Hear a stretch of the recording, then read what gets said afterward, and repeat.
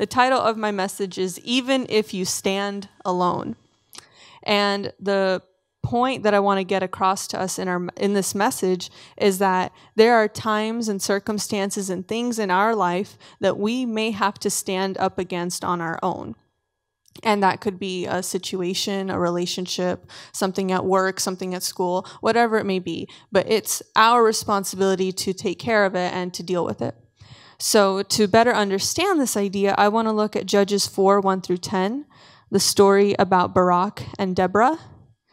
Deborah was a judge during the time that there were judges ruling over the Israelites, and she was given wisdom and understanding that wasn't her own, um, and so able to discern between different situations that the Israelites were going through. And in this particular situation, the Israelites have been attacked by a group of people, and they're like, ah, can you not? And so God said, okay, cool, I'll help you out. So, starting in verse 1, it says, After Ehud's death, the Israelites again did evil in the Lord's sight. So the Lord turned them over to King Jabin of Hazor, a Canaanite king. The commander of his army was Sisera, who lived in Harosheth Hagoyim. Sisera, who had 900 iron chariots, ruthlessly oppressed the Israelites for 20 years. Then the people of Israel cried out to the Lord for help. Deborah, the wife of Lapidoth, was a prophet who was judging Israel at that time. She would sit under the palm of Deborah between Ramah and Bethel in the hill country of Ephraim, and the Israelites would go to her for judgment. One day she sent for Barak, son of Abinoam, who lived in Kadesh in the land of Naphtali. She said to him, This is what the Lord, the God of Israel, commands you. Call out 10,000 warriors from the tribes of Naphtali and Zebulun at Mount Tabor. And I will call out Sisera, commander of Jabin's army, along with his chariots and warriors to the Kishon River. There I will give you victory over him. Barak said, I will go, but only if you go with me. Very well, she replied, I will go with you, but you will receive no honor in this venture, for the Lord's victory over Sisera will be at the hands of a woman. So Deborah went with Barak to Kadesh. At Kadesh, Barak called together the tribes of Zebulun and Naphtali, and 10,000 warriors went up with him. Deborah also went with him. And then 1 Samuel 17, I'm going to summarize and then go into specific scriptures as we go along, but it's basically the story of David and Goliath. And so all of us are pretty fairly aware of that story um, is that Goliath was a representative of the Philistine army, David, representative of the Israelite army, and they came face to face to figure out who was going to rule over who. That's a really, really Cliff Notes version. Not great. We'll get into it more, more um, directly later. The first point in this topic that I want to touch on is changing we should to I should. Between these two stories, we see a parallel between Barak and David. Barak is told by Deborah that God has commanded him to go and to fight Sisera. The word is so specific to Barak that not only is God calling Barak out, but he's also orchestrating in another way for Sisera to be there for Barak to meet him and for there to be 10,000 additional people to support Barak in this thing that God is calling him to. And this is what Barak says. Barak said to her, If you go with me, I'll go. But if you don't go with me, I won't go. I think in our own lives, we have people that we really trust and when they're there, we're like, okay, it's to be fine. You know, like you're planning a party, you're planning an event, you're doing something, you say, oh, who's in charge? Oh, they are? Okay, good. Whew, I'll be there. It's to be okay. Oh, they're in charge? Uh uh-uh, uh, uh uh, I don't want nothing to do with that. I'm to walk away. I'm in charge? yeah, right.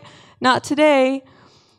And we have this attitude sometimes that we see people doing something so often that when it's our turn to step up to the plate and be the one to take action and move forward, we're afraid to do that unless that person is the one that's going to be leading the way. And the problem here with that in our own lives and in Barak's decision to ask for Deborah to come was that by asking Deborah to come, he was trusting more in her presence than in God's promise. And so we have to look in our own lives what kind of things are we capable of doing? Am I capable of doing? And am I dependent on somebody else being there before I'm able to go forth? And is my dependence because I don't trust God and I trust that person more to be able to be successful? Changing we should to I should Think to yourself honestly how many times you've come into a building, a, a, party, a situation, you've seen something you don't like, and your first comment is, You know what we should have done? You know what should have happened? You know what we should do? My favorite response to that question is, Who is we? Seriously, is we actually you and me? Or is it just somebody somewhere, sometime, someday and I'm just going to make a comment here and hopefully somebody will do something. But I said it, so I kind of did my job. If we want to say we should, we have to ask ourselves how much of myself is included in that. And if it's to the point where I can actually do something about it, then maybe it doesn't need to be we should. Maybe it's I should. Maybe there's a reason I notice that need. Maybe there's a reason that there's something that's bothering me. And maybe that's because, for one, when you walk with God, when you walk with the Holy Spirit, you can get that kind of prompting. You can get that kind of recognition and ability to see the things that need to be done for people, for situations, and for really anything because God gives you that kind of insight through His Holy Spirit. And here's the parallel I'm going to make, and that's to David. Let's go to Samuel, 1 Samuel 17. And David is responding to the Israelites that are afraid to face Goliath.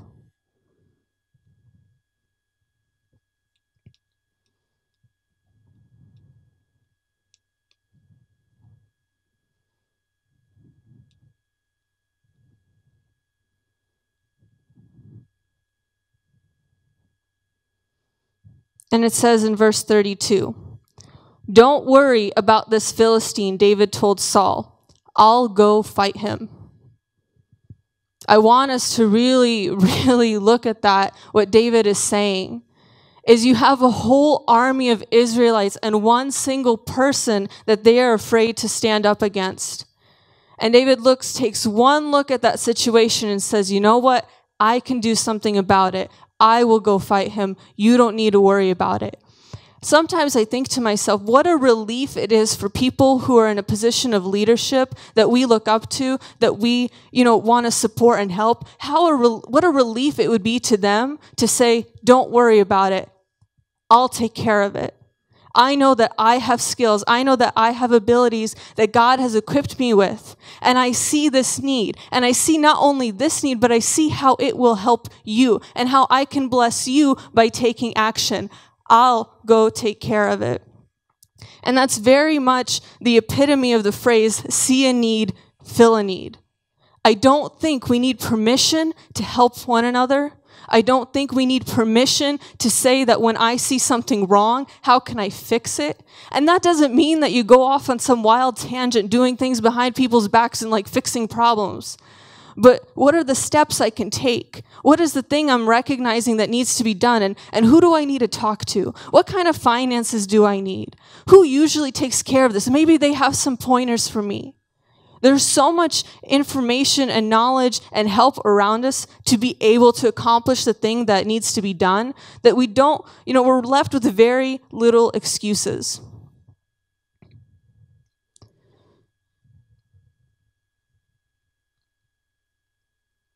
And I want us to take a moment and consider things that aren't even spiritual. Like like not even not even spiritual. You know, how is it that if we are unable to carry the weight of weeds around the church, that we think we can carry the weight of somebody's hurt, of somebody's pain. It's not about the action, it's about the mindset. It's about the attitude that you have towards seeing what needs to be done and what you can do about it. David saw that he was equipped not with his own strength, but with God's strength. And as believers, we have that exact same power, that exact same equipment. So the next question for us is what are you equipped with? The Lord, the God of Israel, commands you go take with you 10,000 men of Naphtali and Zebulun and lead them up to Mount Tabor. Barak was not alone.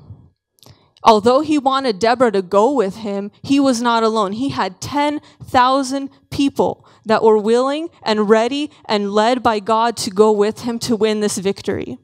First and foremost, he had God's command. And second, he had the army. God is with you, and God will bring people into your life to help you with the need that you see that needs to be filled. With David, it says, The Lord who rescued me from the paw of the lion and the paw of the bear will rescue me from the hand of this Philistine. You come against me with the sword and the spear and the javelin, but I come against you in the name of the Lord. Looking at Esther's life, her uncle said to her, you know, you were born for such a time as this. And how many of us have seen that in somebody's bio on Instagram? You know, like a very, like I've seen it all the time. I'm like, well, what time? okay, and then what? what? What's what's coming out of it? God has prepared you for such a time as this, for you to go forth and fight the battle. You have talents; they are good enough and there is something for you to be able to stand against the enemy or any mountain you face or any kind of thing that needs to be done. Again, not because we are so strong, not because we are so great, but because God has equipped us, because God has taken us from one thing to, uh, to the next, to the next, to the next situations in your life as a believer, and I believe this 100%, are not coincidental. We don't experience things just because that's how life happens. That's just because that's what happens. That's what we go through. We have our ups and downs, we have a roller coaster. There's always a teachable moment from everything that we experience when we walk with God. And those exact ups and downs and everything is building up for the thing that we need to ultimately face on our own. I'm not trying to like bust up our egos and talk about how important we are, how great we are, how much value we have. I believe that that's all true. But what I really want to emphasize here is that there are some things that only you will experience. There are some things that people will never be able to relate to you in that way. Some things that go on in your personal life that nobody can even imagine is happening when you go home, when you go to school, when you go to work. Why are those things happening? Why is it going like that?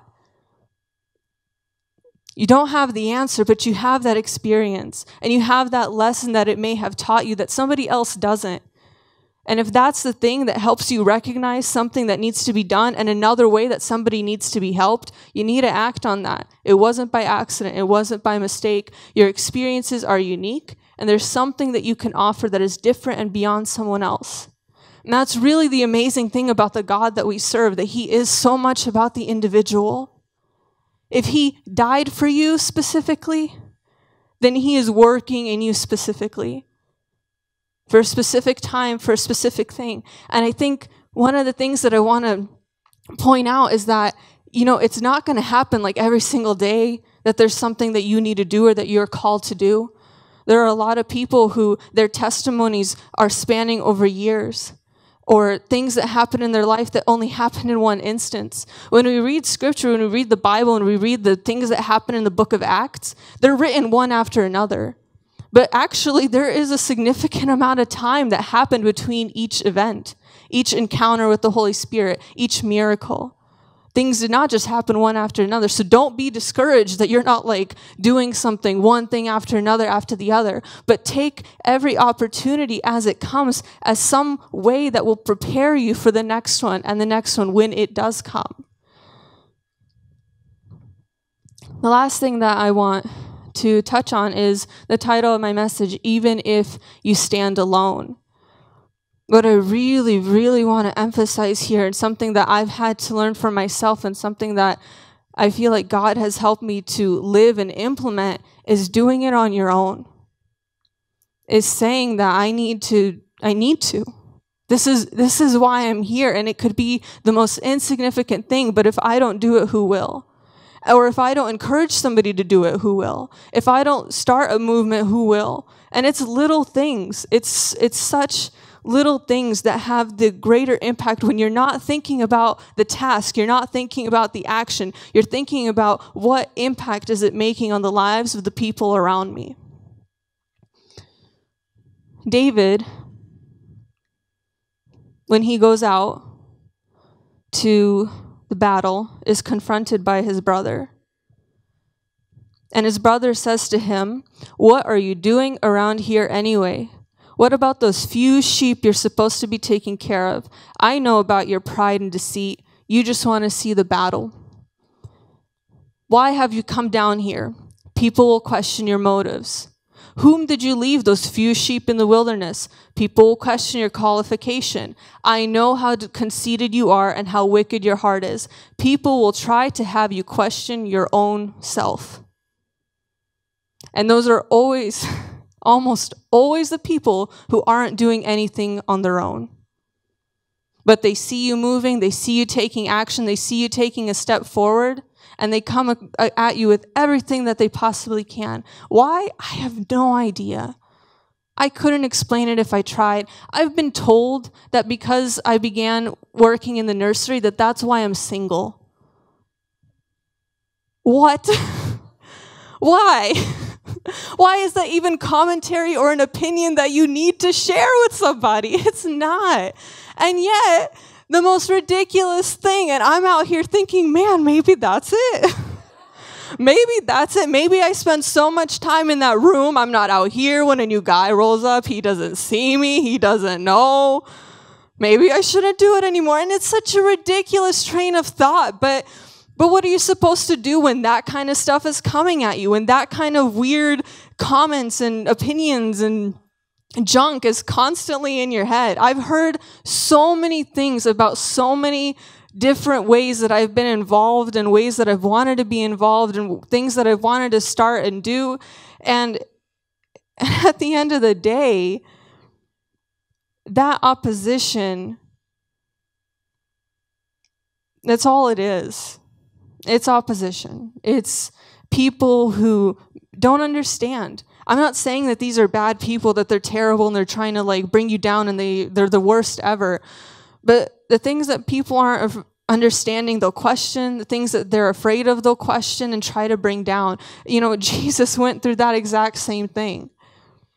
The Pharisees questioned him left and right. The Pharisees, you know, made others doubt who Jesus was our experiences, I feel like I love the scripture that says that Jesus went through the same kind of struggles that we've gone through because they're so specific to a lot of the emotional things that we go through. I really love that Jesus, that we can relate to him on that emotional level, on the things that go on in our heart more so even than just the physical abuse that he experienced or the or the physical pain but that same feeling of separation from God that same feeling of opposition that same feeling of people making claims about you that aren't true saying that what you're doing has no purpose has no point and questioning you left and right. Even if you stand alone why why? Why would we even want to do that? Why would we want to stand up for something on our own? Why would we want to pursue something on our own? There's a lot, a lot, a lot of reasons for this, and a lot of parables that Jesus teaches uses to teach us why this is important. The first, maybe even the most obvious, is the parable of the talents. We have a responsibility. Jesus has given us gifts. We have an ability, big or small. 10, 5, 1 it doesn't matter. There's still something that we're accountable for. There's a, scripture about the servants whose manager left and then they come back.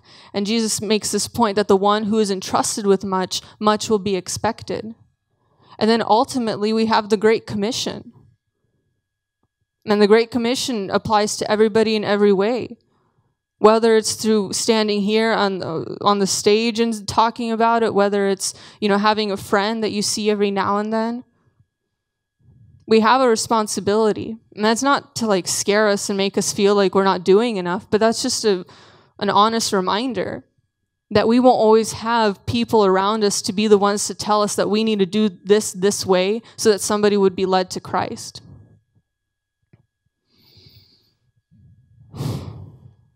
that's everything that I have for you guys.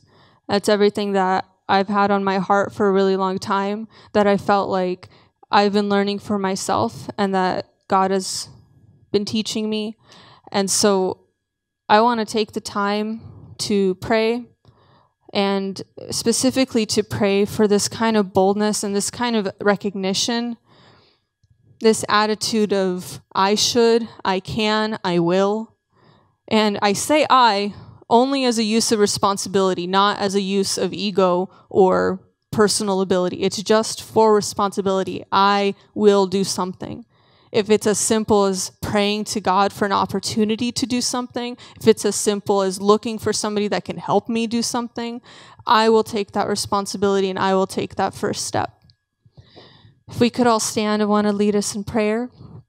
And then, if any of you would like to be prayed for specifically in this way, to be able to see what kind of things you can do. Maybe you don't know yet. You know, maybe it's hard to recognize that the thing that you're able to do is exactly what's needed at that moment. Sometimes you can write off the abilities that you have if it's as simple as being friendly and smiling at somebody and not recognizing how much impact that can have in their day. Or it can be as extreme as knowing that, you know, I have a really great prayer life. I know that I pray every night and I know that when I pray, I'm speaking with God and God is speaking back to me and I can see how the things I pray for are happening in my life. What if I began to pray that way for other people? All of those things matter. All of those things are taking a stand and standing alone.